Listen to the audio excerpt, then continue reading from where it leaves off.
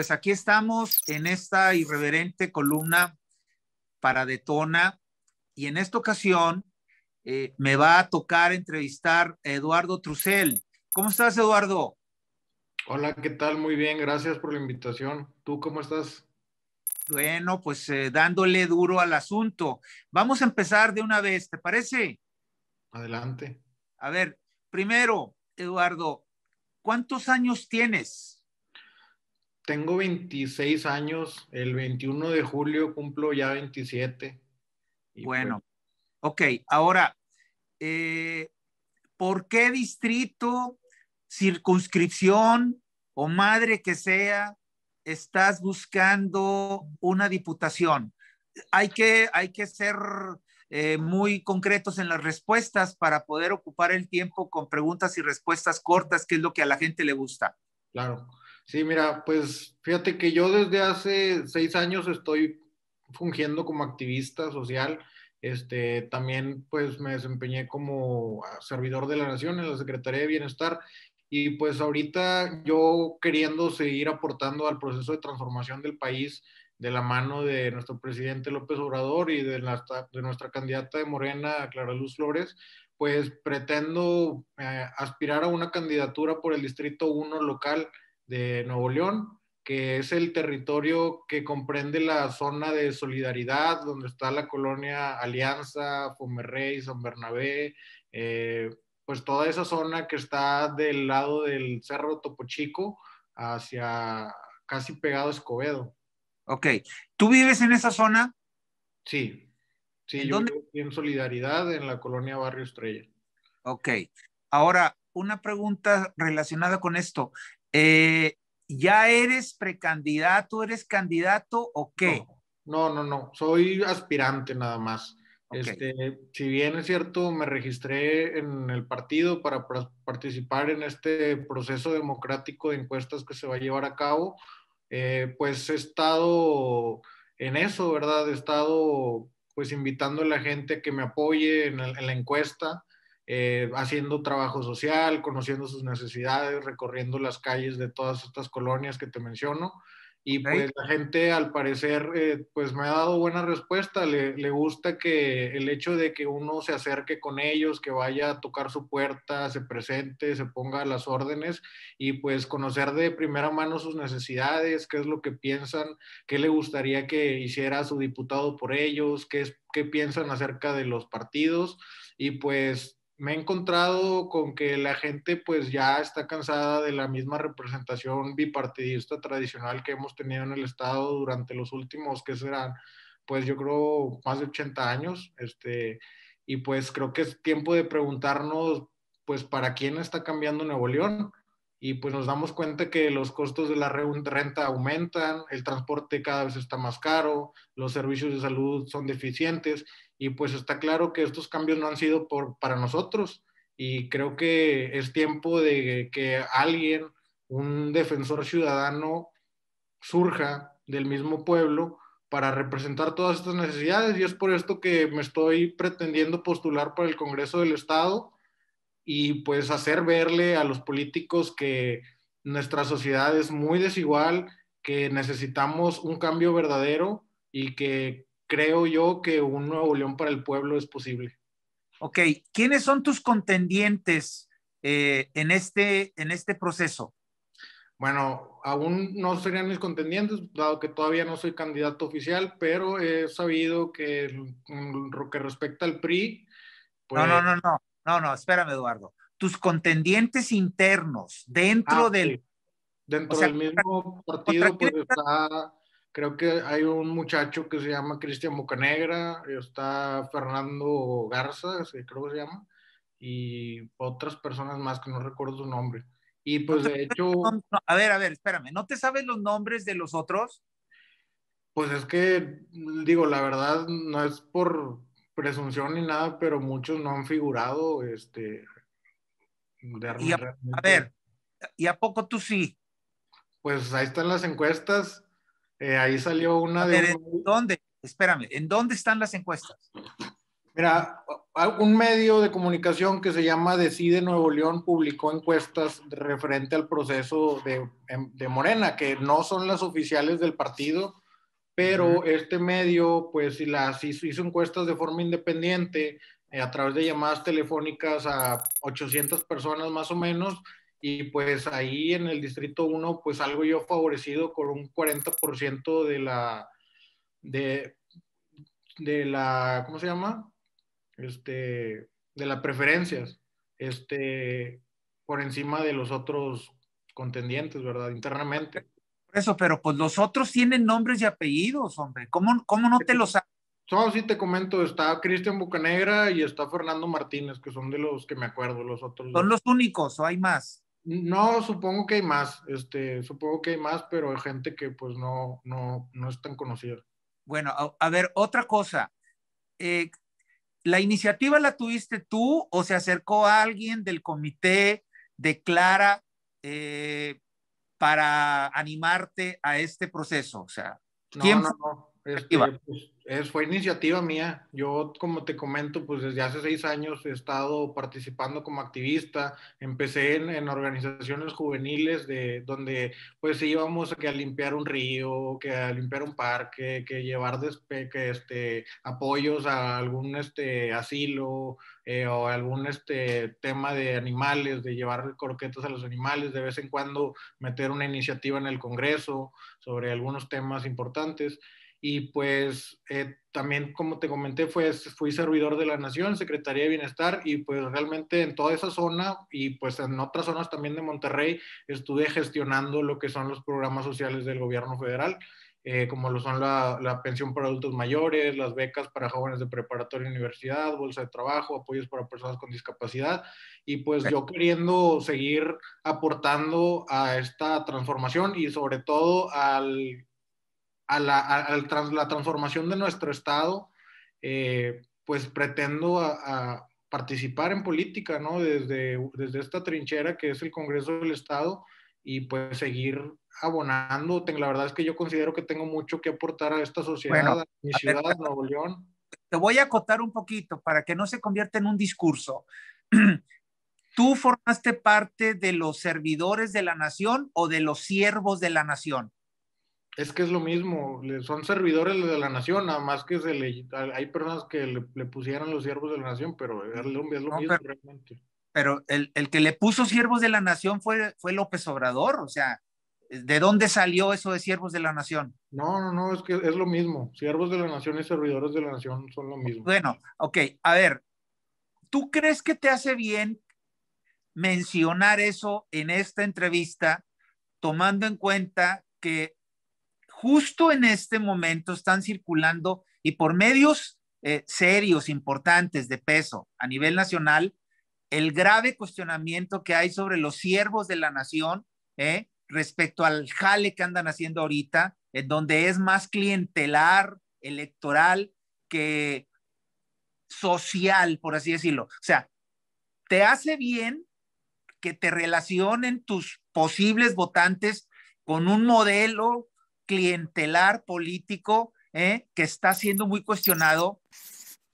No, bueno, mira, yo no te lo comento esto que yo haya sido servidor de la nación porque yo tenga un fin electoral con eso. O sea, realmente yo eso lo dejé ya hace tiempo, ya hace más de un año que me separé de, de ese cargo y pues creo que no es bueno generalizar y decir que todos estamos ahí con temas de irregularidades, pues que realmente no es cierto. Yo no tengo nada que me puedan a mí reclamar de, de nada.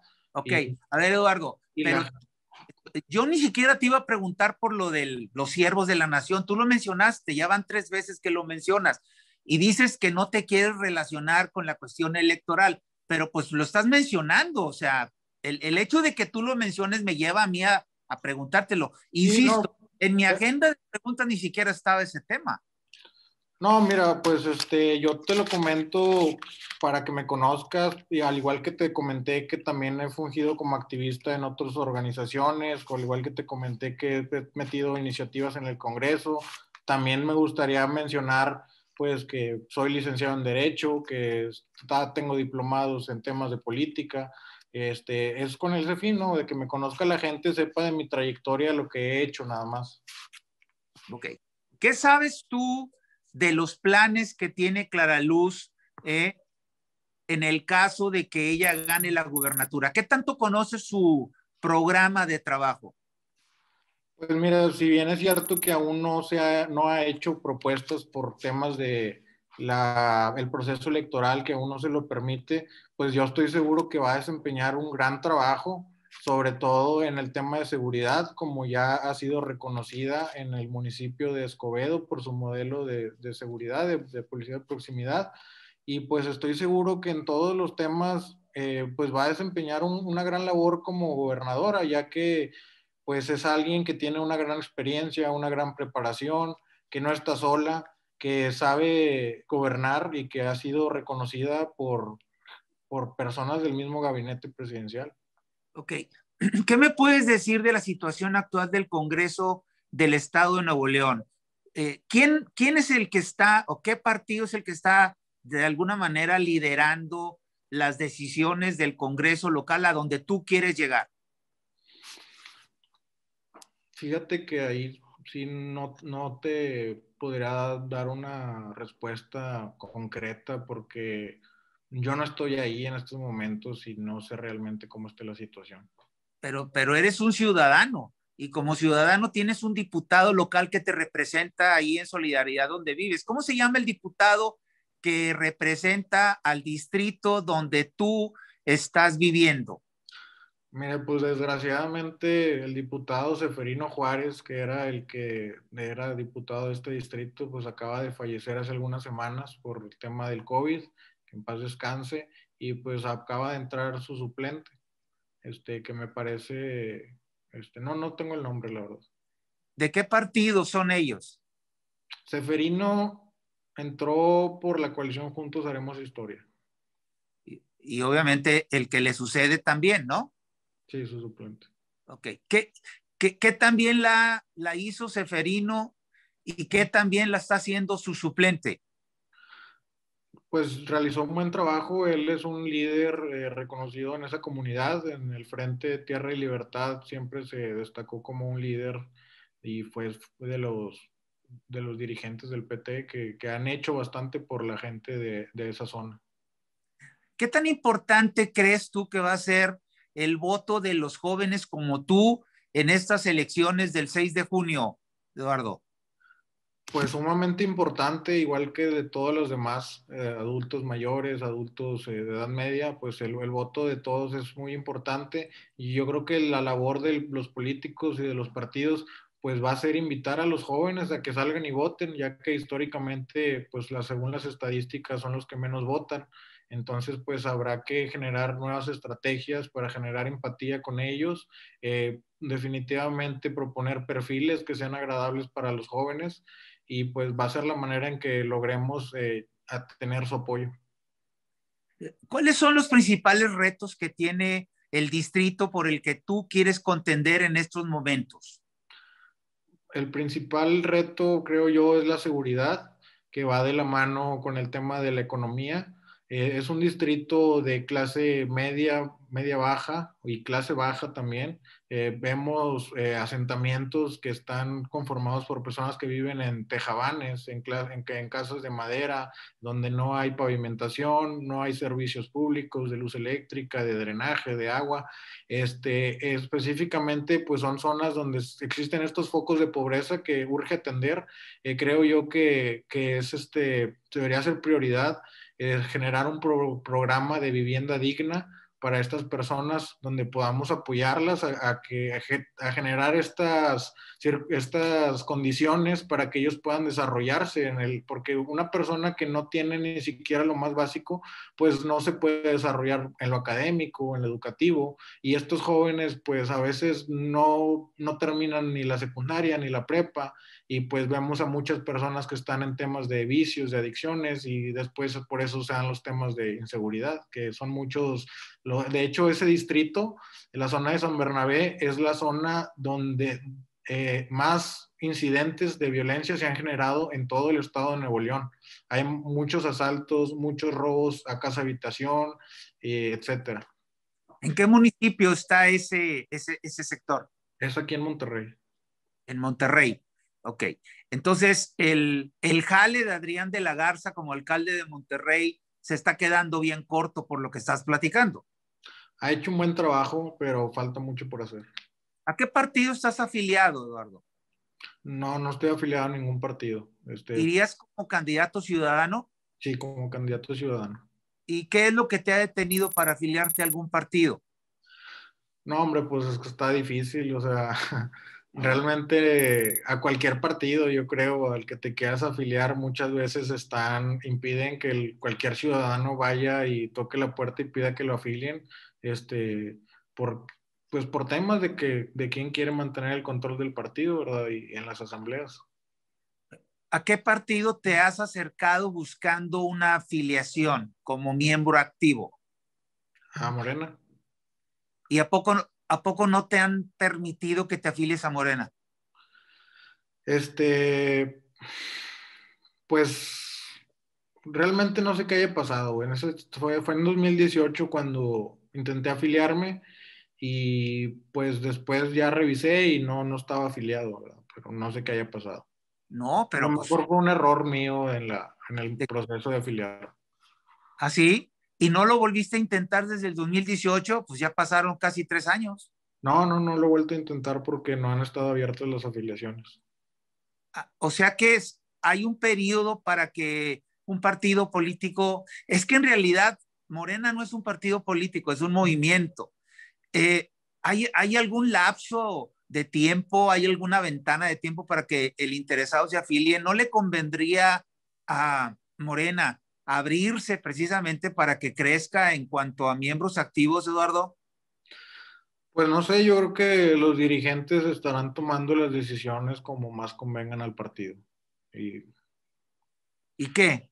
¿No, ¿No? le conviene que crezca la membresía aquí en Nuevo León? Pues, en Nuevo León, en las elecciones pasadas, López Obrador perdió de calle, man. Aquí en Nuevo León. ¿No sabías? No, pues yo sé que, que ganó contra el PAN, contra Ricardo Naya. Hubo más votos para López Obrador. ¿Ah, sí? ¿De dónde sacaste esa información? Pues desde 2018, de los resultados del, okay. del INE. Bueno, el tema es la ascendencia de Morena sobre la población. ¿La ves lo suficientemente fuerte como para que te hayas acercado? ¿Tú te acercaste a ellos? ¿Ellos se acercaron a ti? Eh, por favor, reitéranos ese, tema. Sí, mira, pues en 2018 yo empiezo a acercarme a la campaña de Andrés Manuel, eh, no a trabajar directamente con ellos eh, con un salario ni mucho menos, nada, sino simplemente yo como ciudadano pues empiezo a apoyarlos este, a través de mis redes, a través de formar grupos de jóvenes, este, invitarlos a los meetings este, y pues hacer, este, pues a pues apoyarlos, o sea, en general. Ok. ¿A qué te dedicas? O sea, ¿de, de qué vives? Perdóname la pregunta tan sí. directa. Sí, sí, qué... sí, Yo soy asesor financiero. Este, estoy en un despacho de seguros donde manejamos también el tema de pensiones, de afore, este, créditos de todo tipo, este, y seguros en general, de todo tipo de seguros. Ok, eh, ese, es tu, ese es tu chamba.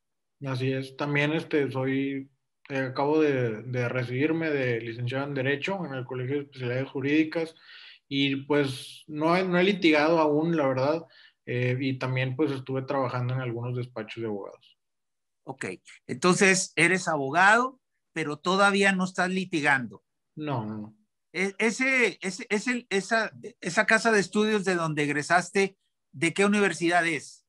Es el Colegio de Especialidades Jurídicas, este, está en Barrio Antiguo, está en la calle de Museo del Marco, Padre Raimundo Jardón, está a cargo del el rector, es el licenciado Moisés Solís. Okay. Entonces, ¿cuáles son los tiempos como para que podamos saber si estamos hablando con un candidato oficial de la coalición de Morena, el PT, Nueva Alianza y el Partido Verde Ecologista Mexicano? Eh, en tu persona? Sí, bueno, mira, ahorita el partido ha estado definiendo candidatos. Eh, la semana pasada fue el tiempo de definir a los alcaldes. Y pues ahorita, como te comenté, pues estoy esperando los resultados de esta encuesta democrática que se hizo a la ciudadanía y pues estoy a la espera de, de las buenas noticias, ¿verdad? ¿Cuándo van a ser esos resultados, Eduardo? Pues ya no debe de tardar. No, no. ¿Qué es no debe de tardar? Sí, lo que pasa es que el día 14 la Comisión Estatal Electoral es el día límite, 14 de marzo, para registrarse ante ellos. Esto después de que los candidatos hayan obtenido pues el, el visto bueno de sus partidos y es por eso que comento que ya no deberían de tardar. Ok, ¿Por, ¿por quién votaste tú en el 2018? Por Morena, carro completo. O sea, por Morena para diputados, senadores, para todo. Sí, así es, presidente. ¿Y, y esto es lo que esperas que la gente haga el próximo 6 de junio? Yo espero que la gente tome las mejores decisiones para Nuevo León y creo que Morena es la mejor decisión que pueden tomar. ¿A poco en carro completo, como acabas de decir? Pues es que tenemos que darle todo el apoyo a nuestra gobernadora.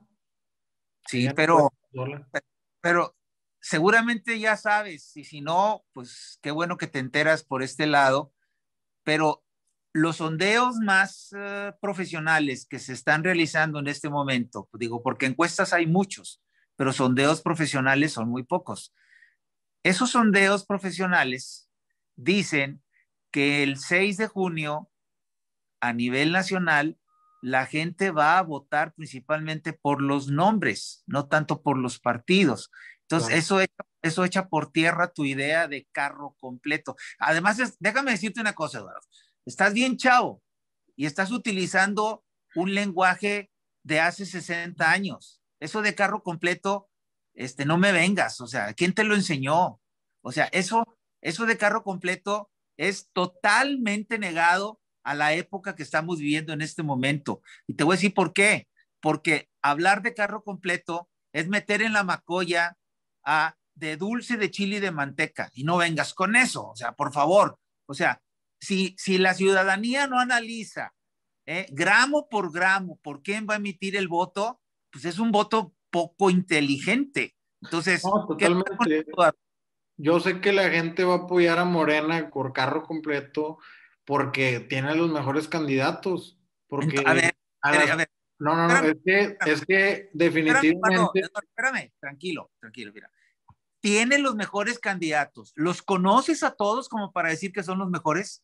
Pues mira, en lo que respecta a Monterrey, a la gobernatura, que bueno, yo no, no puedo decir que son candidatos por en el caso de Monterrey, porque pues no, no sé si ya se reconozcan como tal, pero a las personas que se ha invitado, el partido, este, pues son gente que tiene experiencia, son gente que, que tiene un trabajo reconocido en, en, sus otras gestiones que han tenido y creo que son los mejores en comparación de, de los otros partidos. ¿Quiénes? Porque dices que son mejores, pues debes de tener los nombres. Sí, sí, sí, pues en el caso de Clara Luz, en el caso de Víctor, si es que va por Monterrey, este, creo que son los mejores que los otros candidatos. ¿Quién más? No, bueno, este, todavía no te puedo decir porque los, porque no sé si ya estén reconocidos como candidatos en, otros. Pero son los mejores, chingado. Pero son los mejores y hay que votar. Si están con Morena son los mejores porque, oye, te, te, comento, este, tienen, tenemos muchísimos años de las mismas representaciones y creo que es tiempo de un cambio, es tiempo de, de probar algo diferente. El gobierno de, de nuestro presidente está dando resultados efectivos y creo que es tiempo de traer la cuarta transformación a Nuevo León. A ver, dame, dame un ejemplo de un resultado positivo de López Obrador.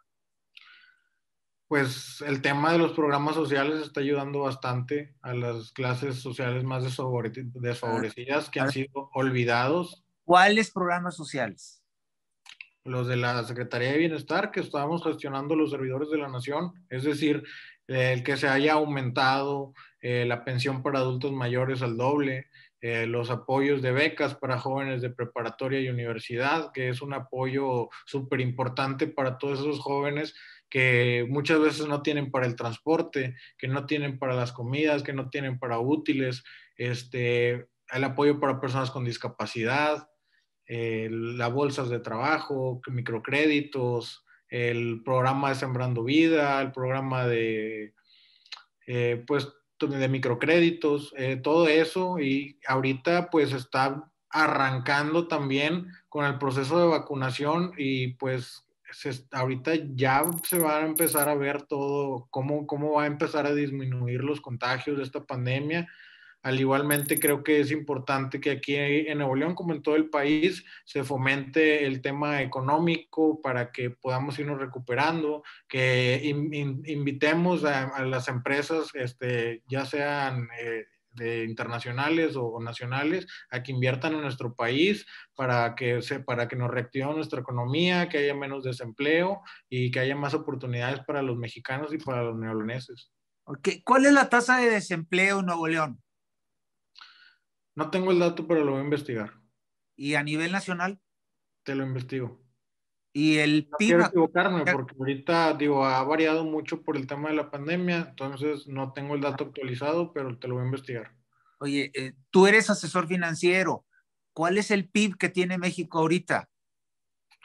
Te voy a investigar el dato. No quiero equivocarme. No quiero, ah, no quiero cometer errores. Está bien, bueno, muy bien. Pues este, eh, vamos a dejar que Eduardo investigue, que cheque y cuando tenga los datos y haya... El dato? Perdón, sí, claro. El PIB anda ahorita en el 1.5. Y fíjate, yo no contiendo por ningún puesto de elección popular. O sea, yo ni siquiera estoy obligado a ello. O sea, a mí, a mí no me interesa ningún puesto público y si al que me pregunte le respondo, pero tú tienes la obligación de tener esos datos porque pues a la gente. Yo, yo, yo al único, al único que sirvo es a la audiencia de los medios en donde yo escribo, ¿de acuerdo? Y sí te puedo decir que la economía a nivel nacional está estancada, ¿eh? Los números reales de la economía nacional están en cero desde hace 10 meses. Entonces, qué padre que te puedas enfocar en esa tarea. Yo te quiero dar un dato. He platicado varias veces con Clara Luz y trae un programa interesantísimo relacionado con desarrollar la economía del Estado al margen de las prebendas que tradicionalmente se le piden al gobierno federal. O sea, e, esos son los puntos importantes, Eduardo, que en un momento determinado pueden darle mucho valor a una candidatura de un chavo tan joven como tú. E, e, tú representas a nivel nacional, y eso es bien importante, Eduardo, y obviamente ni siquiera lo tomes como consejo, porque yo no le tengo que dar consejos a nadie, porque para equivocarse nadie tiene que pedirle consejos a otra persona, pero veo tu perfil, veo tu edad, veo las ganas, la iniciativa que tienes y me animo mucho a decirte, ese empuje que traes ahorita, ¿eh? hay que amarrarlo con lo que a la gente más le interesa, Eduardo. Números, datos, tiempos y nombres. Esos son los cuatro factores que hacen que una elección se vaya por una persona por la otra. Si nos vamos con puros conceptos y por, es que eh, hay que votar por todos los de Moreno. aquí, aquí, lo que importa es este, la voluntad de hacer las cosas, la voluntad de ayudar. Eh, y esa es nuestra prioridad y este es nuestro compromiso y esta es nuestra meta como partido y como eh, perfiles Aquí lo que importa es ayudar a la gente y empezar por lo que urge y que son las clases más desfavorecidas, eh, igualmente apoyar a los empresarios porque de esa forma se va a apoyar a, que haya más empleo. Y pues digo, discúlpame por no poderte dar esos datos, no los tengo ahorita en la mente estudiados, pero te aseguro que mi labor se va a enfocar a eso, a, apoyar la economía, a apoyar a, combatir el desempleo, a que la gente pueda trabajar. Eso, eso es lo que yo quiero hacer y es bien importante que las personas, así como tú, que hay muchas en toda la ciudad, en la, sociedad, que son muy inteligentes, tienen mucha experiencia, eh, han vivido, visto pasar gobiernos y políticos y he estado al tanto de las noticias, así como tú que, que estás eh, al, al, día en todo el tema de político, económico, pues que podamos también este, compartir la información con los servidores públicos, con los políticos, eh, para pues aportar, ¿no? Todo nuestro granito de arena, nuestra trinchera. Yo creo que es importante no tener esa apatía de participar en política y si bien cada quien tiene su trinchera, pues aportar, ¿no? Desde la forma en la que podamos a, mejorar nuestra sociedad. Ok, ya me están haciendo la seña de que nos estamos colgando con el tiempo. Te voy a hacer una última pregunta aprovechando lo que me acabas de mencionar de, las, de los empresarios. ¿Tú cómo ves el rol actual de los empresarios en la vida política? Olvídate de a nivel nacional, vamos a ponerlo en la vida política en Nuevo León. O sea, ¿cómo ves la actividad del empresario actual eh, en estos, en estos uh, avatares políticos que se vienen encima. ¿Cómo los ves, Eduardo? Pues obviamente es básico, es su, su, su, rol en la sociedad, es, es básico, es sumamente importante porque constituyen la base de nuestra economía, constituyen el sustento de muchísimas familias Nuevo León es un estado primordialmente industrial, donde vemos empresas en el tema del acero, de las, del cemento, de la cerveza, de los alimentos, del tema de automotriz. Eh, y pues creo que hay que seguir invitando a más empresas que vengan y que se establezcan aquí en Nuevo León, que podamos seguir desarrollándonos en esas industrias y en otras más en las cuales aún no hay participación de Nuevo León, como pues temas de desarrollos tecnológicos nuevos, nuevas tendencias tecnológicas a, nivel mundial y creo que debemos de ser eh, vanguardistas en todos los temas. De nosotros tenemos que, Nuevo León se tiene que seguir manteniendo como un estado de vanguardia en el tema industrial, seguir eh, combatiendo el desempleo, seguir haciendo crecer nuestro PIB y pues eso va de, va de la mano de, de, que haya un buen gobierno, que digo, si bien que si no ayudan, pues que por lo menos no estorben, ¿verdad? Porque bueno, el empresario es lo que pide, que los dejen trabajar, pero muy bien. nos podemos apoyar, pues mejor. A ver, déjame nada más hacer una acotación. hiciste una descripción del ideal del empresario, pero yo no te pregunté eso. Yo te pregunté cómo ves el desempeño actual. O sea, el empresario está ejerciendo su rol de contrapeso del gobierno? ¿Lo, lo está haciendo, Eduardo? Pues es que el, los empresarios no deben de ser un contrapeso del gobierno, sino deben de ser, eh, pues, pues simplemente trabajo, un trabajo en equipo, ¿no? De gobierno, empresa, sociedad civil, este, todos jalándose al mismo, hacia el mismo lado. Y pues los empresarios están cumpliendo, ¿verdad? Con lo, que con lo que le pide el gobierno que hagan, ellos están cumpliendo. Bien. Ok, pues te agradezco muchísimo tu tiempo, Eduardo. Eh, vamos a ir muy de cerca tu, tu desempeño en este proceso y eh, en Detona tienes abiertas las puertas como las tiene abiertas cualquier alternativa que busque el bienestar de la ciudadanía. Muchas, gracias. Que tengas muy buen día y vamos a seguir en contacto contigo. Gracias. Hasta luego. Andele. Bye.